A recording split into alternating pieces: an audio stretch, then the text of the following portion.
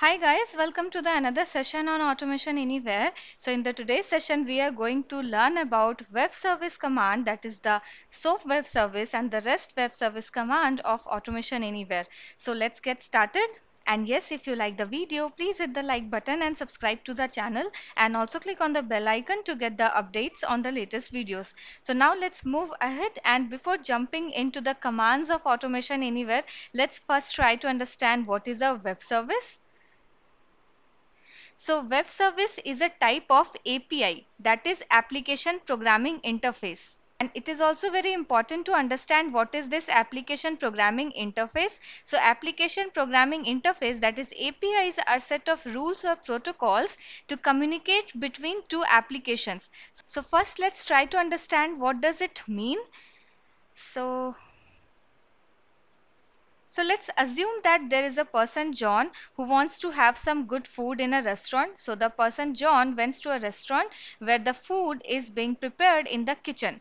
So we know that John doesn't have direct access to the kitchen. There is one person in between that is waiter which is used for the communication between John and kitchen.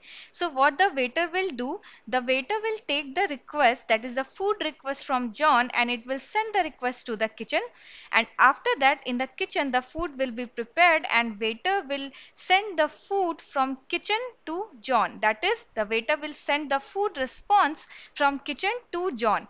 So APIs work in a very very similar way. So let me show you what I mean. So APIs are used for communication between two applications with certain set of rules. So let's assume that there is one application that is application 1. Let's say that application 1 as client and there is one application 2 and let's say that application 2 as server. So these two applications want to communicate between each other. So how they can communicate? They can communicate with the help of APIs. So what the API will do?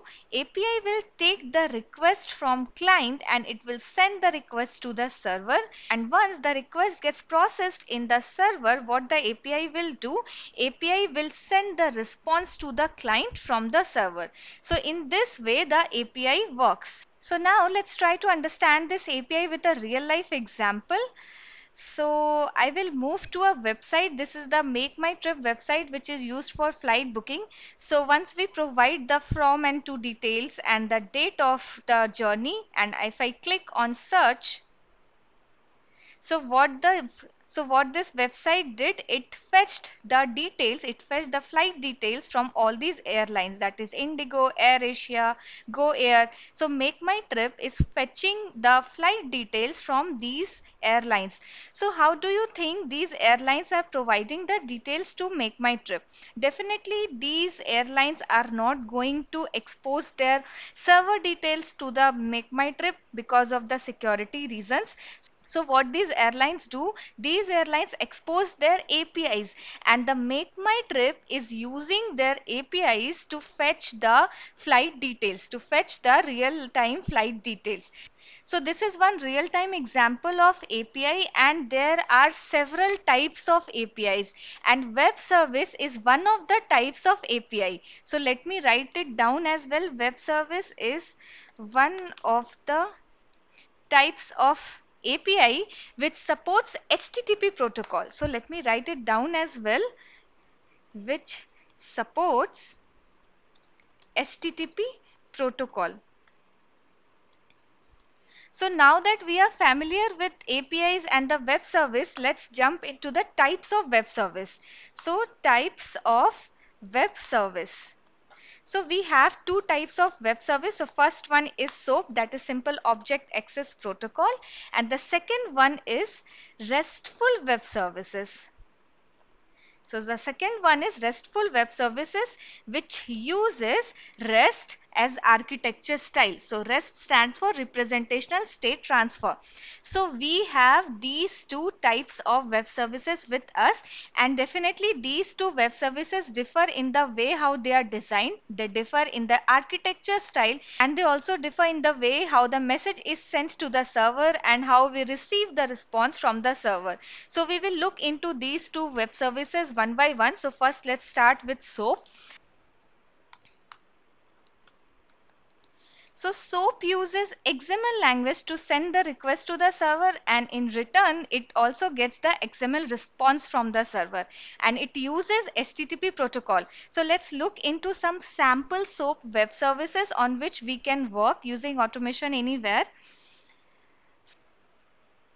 So this is a sample SOAP web service which we will use today in the automation anywhere command. So this is a calculator web service and it has provided four operations of the calculator web service that is add, divide, multiply and subtract. So if I open this add what we get so this is the request this is the soap request which is sent from client to the server so we have seen this client and the server so this is the XML request which is sent from the client to the server and this is the response which is received from the server to the client. So here you can see that there are two integers that is int a and int b which is sent to the server. In the int we need to pass the two integers which we want to add and in the response there is one add result that is here it will be the result of the addition of two integers which we will be sending. And yes as I mentioned it uses uses HTTP protocol.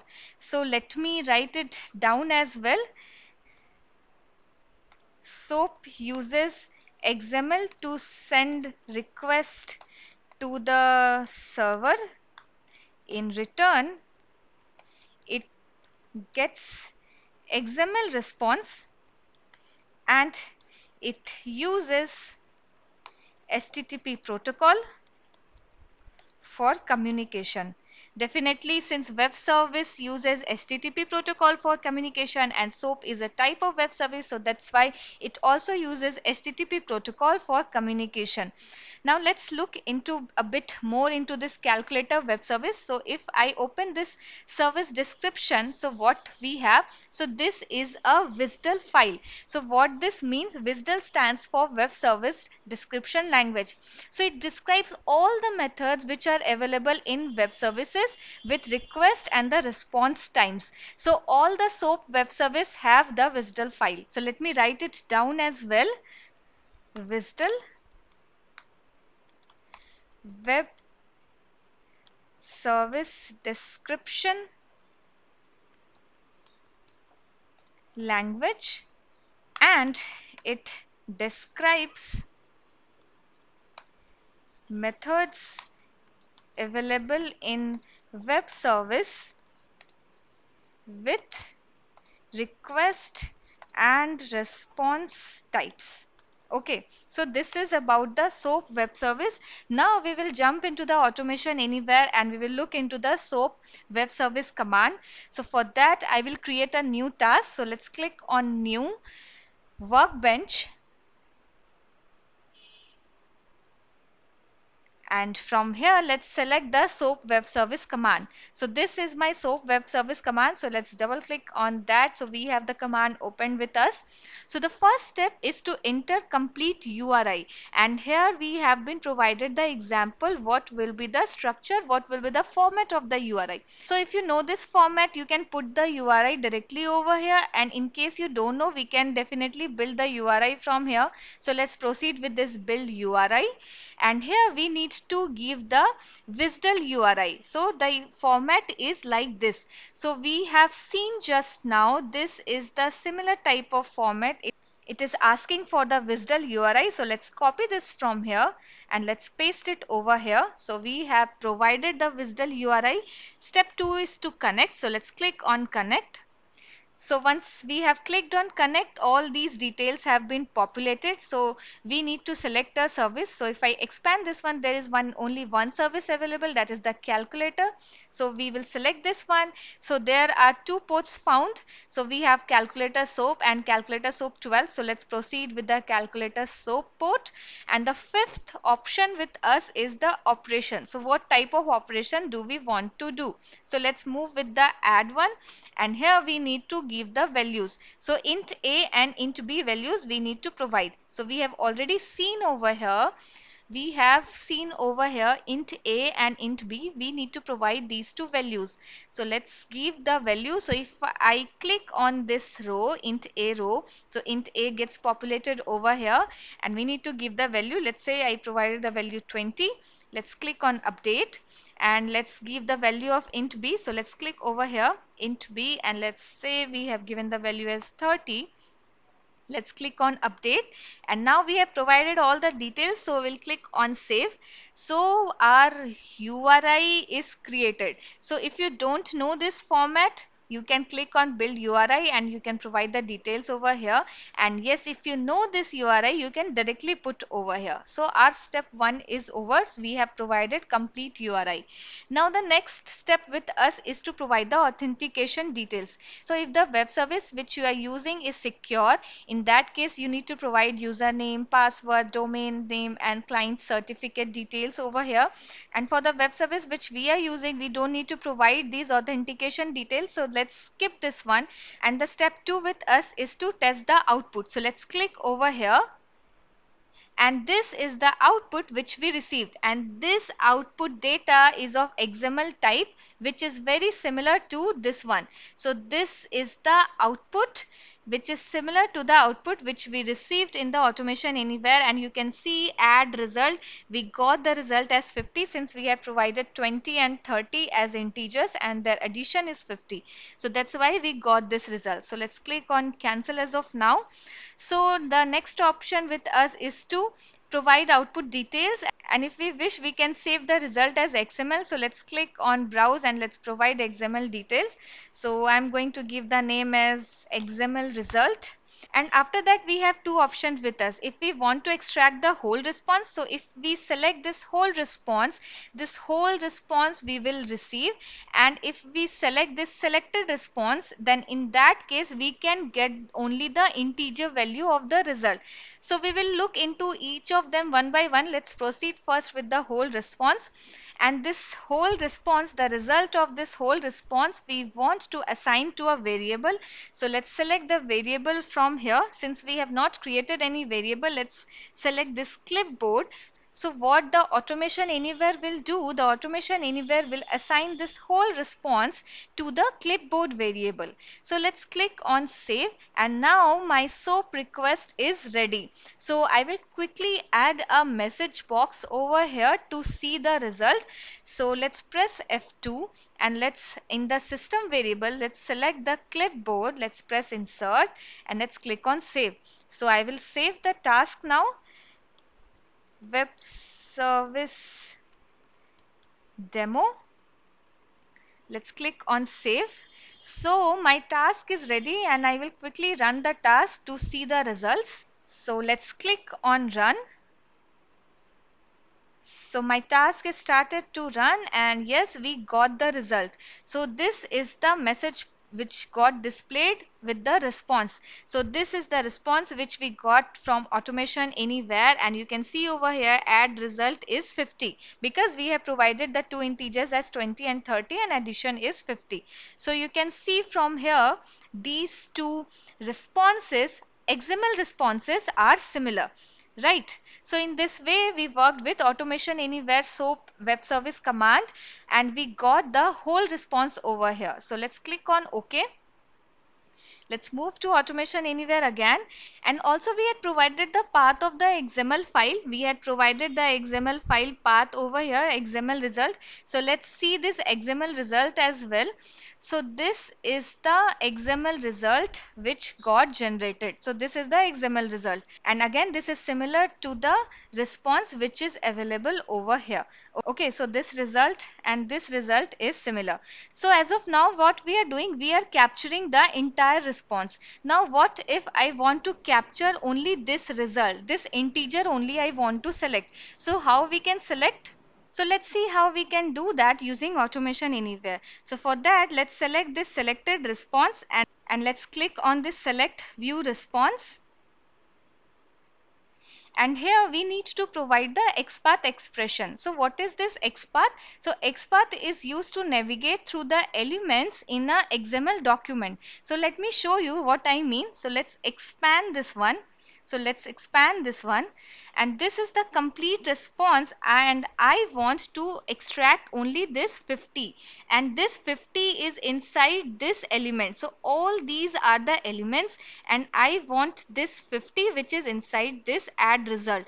So we need to provide the XPath expression to navigate to this add result element. So as soon as I clicked on this add result, this XPath expression is created automatically. Okay, so we have provided the XPath details. So let's click on save and let's save the task. So now what will happen in our command, in our command only the selected response that is only 50 will be displayed inside the clipboard variable okay so let's click on save and let's save the task and I will run the task once more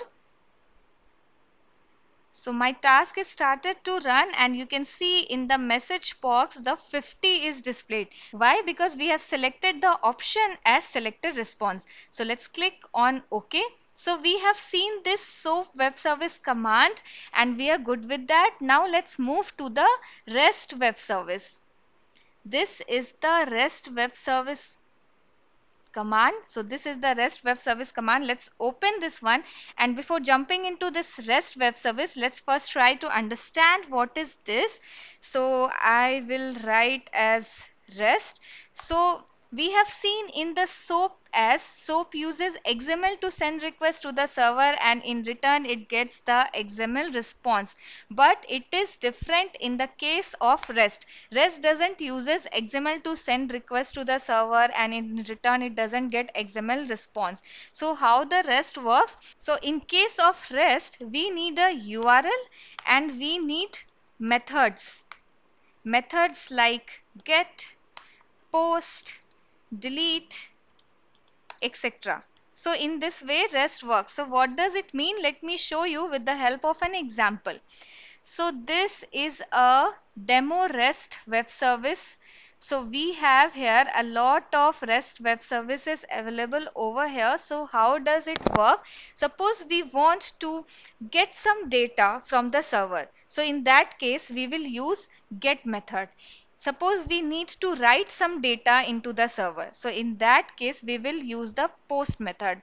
And if we want to delete any data from the server, in that case, we will use this delete. We will use this delete method in that case and we can send the request to the server with the help of URL. So let's first understand this get method. So for this get web service, this is the request. So this will be the request and in response we will get this response and this is the JSON response. Okay.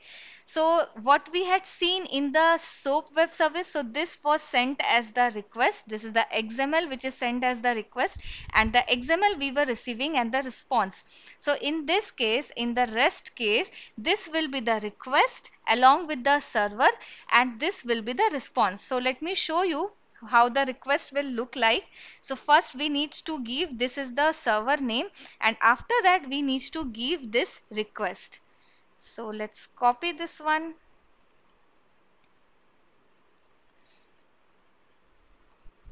And what is the result? So this is the response which we received and this is similar to the response which is available over here.